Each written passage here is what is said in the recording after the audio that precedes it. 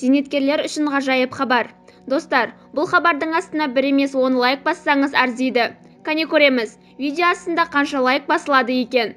Лайк басқан қолдарыңыз кабатулланың қабырғаларын ұстасын.